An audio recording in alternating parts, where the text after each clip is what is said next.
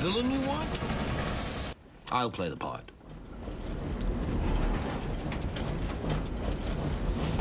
After all, what is a drama without a villain? What is the building of this grand road if not a drama? This business is not for the weak of heart. Mm, It is a thorny, brutal affair that rewards the lion for his ferocity.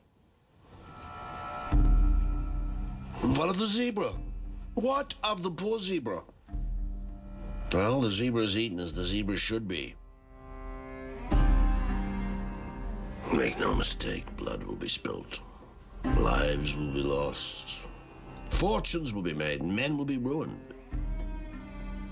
There will be betrayal and scandal and perfidy of epic proportions. But the lion shall prevail. You see, the secret I know is this. All of history is driven by the lion. We drag the poor zebra, kicking and braying, staining the earth with his cheap blood. History doesn't remember us fondly. But then history is written by the zebra for the zebra. One hundred years hence, when this railroad spans the continent and America rises to be the greatest power the world has seen, I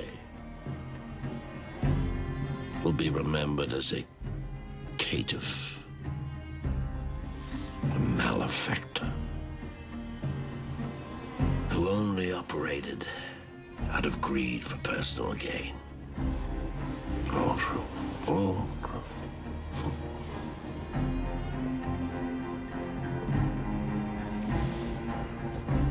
But remember this.